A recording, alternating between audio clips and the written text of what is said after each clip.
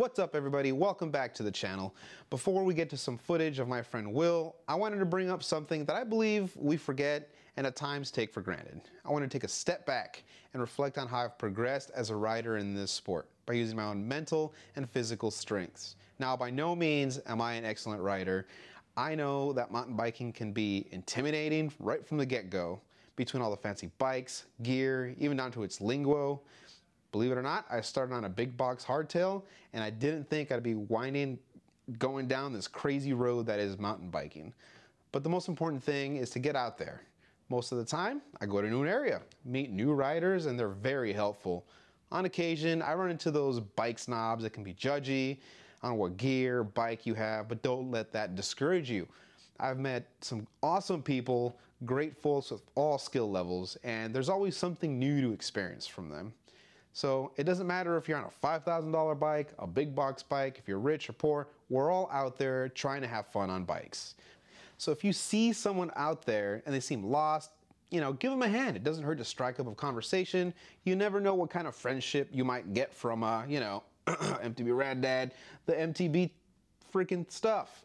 So Moving forward, let's whip it to my friend Will here, shredding down. We're over at Greer. We're riding on overdrive, and it's an awesome time to see this guy flowing down this trail.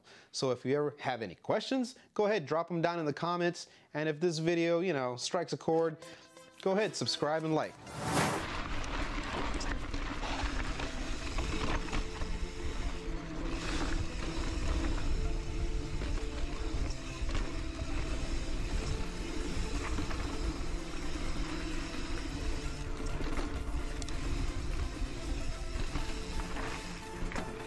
Go.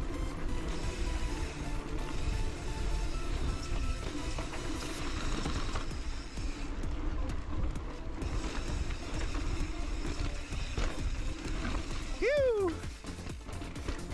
There you go, there you go, push, push, push.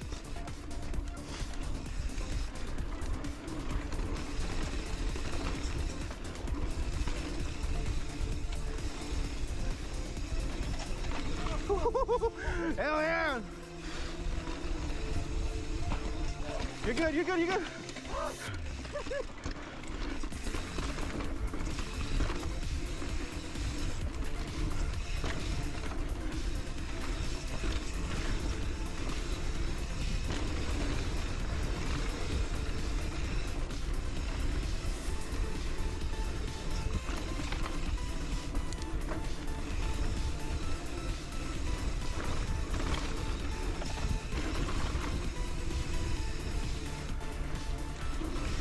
Job pushing through the berms.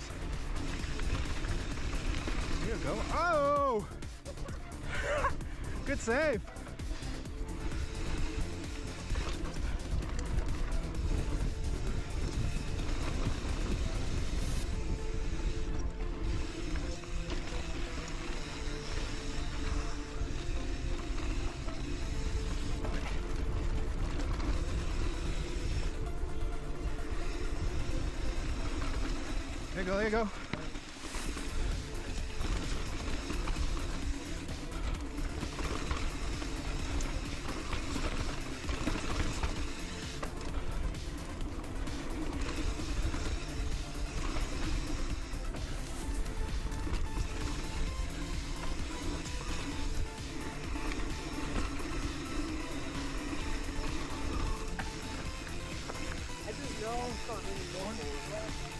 Woo!